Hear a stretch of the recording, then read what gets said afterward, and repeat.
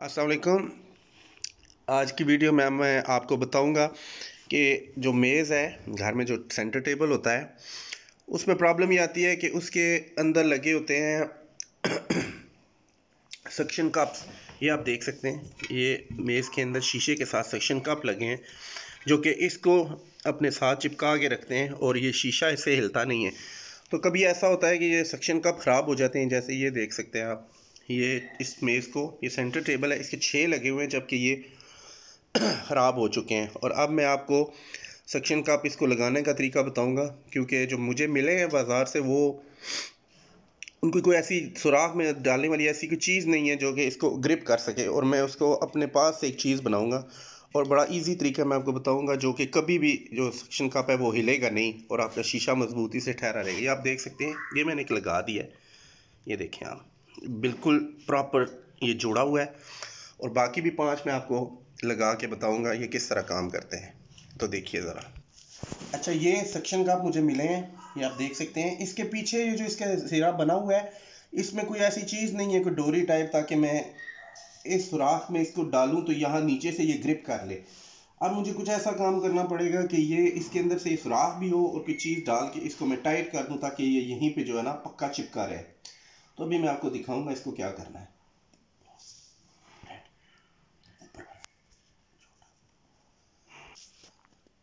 अब ये देखें जी ये अब हमने करना ये है कि एक पिन ले लें जैसे ये एक आ, सुई है या मेक इसको कह लें। अब इसको आपने यहाँ से इसके अंदर डाल के दबाना है आप देख सकते हैं। ठीक है?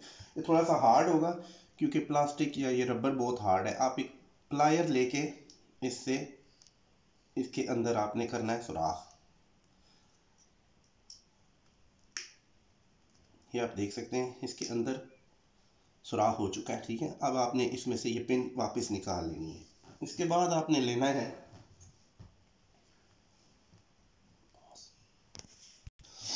इसके लिए आपको चाहिए होगी, ये स्टील वायर है, जो अक्सर छतों में इस्तेमाल होती है, लेंटर की तार इसको बोलते हैं। आपने इतना सा एक हिस्सा काट लेना है इसका। ये देखें आप ये बिल्कुल सीधा और आपने जो सुराख किया था, इसके बीच में डालना है इसको। ये आप देख सकते हैं। ये तार आपने इस तरह से डाल के इसमें से निकाल लेनी है, ठीक है? अब ये तार ऐसे आपने करके, ये देखें अब इतना मज़बूत हो चुका है कि ये अब कभी हिलेगा नहीं यहाँ से, ठीक है? अब आपने करना सिर्फ़ ये है कि यहाँ पे इसको रख के इस जगह, क्योंकि ये सुराख में फिर भी नहीं जाएगा, इसलिए इस साइड पे रख के हमने इस तार को यहाँ से ऐसे बल दे लेने हैं, एक दूसरे के ऊपर। देखें, यहाँ से अप्लायर भी इस्तेमाल कर सकती हैं। ये इस तरह करके ऐसे आप इसको, और ये देखें। अब ये परफेक्टली इसके ऊपर फिट हो चुका है तो ये अब आपका मेज़ कभी भी इससे शीशा गिरेगा नहीं और ना ही हिलेगा।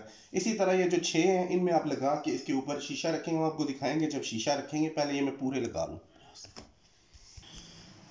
ये जी अब हमने इसके ऊपर छः के छः सेक्शन कप लगा दिए हैं आप देख सकते हैं। ये सारे सेक्शन कप इसके ऊपर लग चुके हैं और अलहमदिल्ला ये बिल्कुल आ, सही स्ट्रॉन्ग लगे हैं जैसे कि इनको होना चाहिए।